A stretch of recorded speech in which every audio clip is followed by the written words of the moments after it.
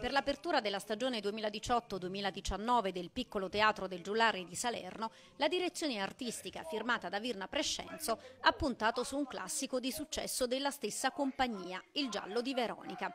Per il thriller, liberamente tratto da un racconto di Aira Levin, Andrea Carraro, che ne ha curato la scrittura e la regia, ha voluto sul palco quattro bravi attori. Cinzia Ogatti e Matteo Amaturo in cast sin dalla prima edizione targata Piccolo Teatro del Giullare. Andrea Bloise che ha confermato in scena il suo carattere attoriale e Sara Riccio alla sua vincente prima. Lo spettacolo, ambientato nell'Italia del Sud, coniuga il senso del mistero a quello dell'ambiguità con il giusto equilibrio.